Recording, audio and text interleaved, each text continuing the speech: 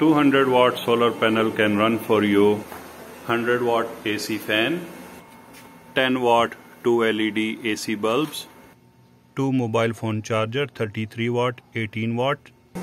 Total load is 98 watt AC. My main breaker is off from morning 6 am till to 5 pm. Here I am running the emergency power. Right now inverter is using. I am using 4000 watt pure sine wave 24 volt inverter, MPPT charge controller. My batteries are very weak. That batteries are not in good condition. Only 30 minutes can give a backup, but that is just only temporary to push this inverter.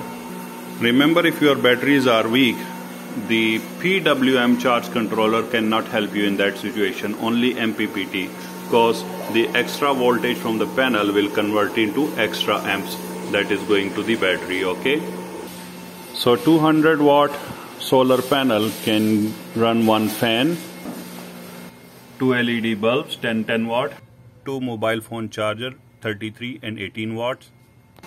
From morning 6 am till to 5 pm that you can run on that